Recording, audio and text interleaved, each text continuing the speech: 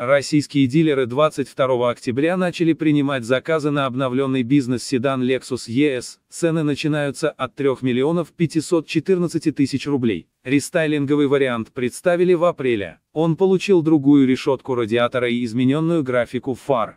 Молния дых чуть укорочена, а в трех светодиодных прожекторах появились прямоугольные линзы. Добавлены новые оттенки кузова, иридиум серебристый и Cloudburst Grey серый, а также дополнительные варианты дизайна легкосплавных дисков диаметром 17, 18 и 19 дюймов. В салоне увеличенная по площади педаль тормоза. Она призвана повысить устойчивость ноги и уверенность при нажатии. Плюс к этому специалисты по работе с интерфейсами существенно переделали медиасистему. Ее экран стал сенсорным и сильнее выдвинут вперед, установлен ближе к водителю и переднему пассажиру. В базе предусмотрен тачскрин на 8 дюймов, за доплату, на 12,3. Силовые агрегаты остались прежними. Для седана доступны бензиновые двигатели объемом 2,0 150 литров, с 2,5 200 литров, с и 3,5 литра 249 литров, с коробки передач, вариатор или восьмиступенчатая автоматическая трансмиссия.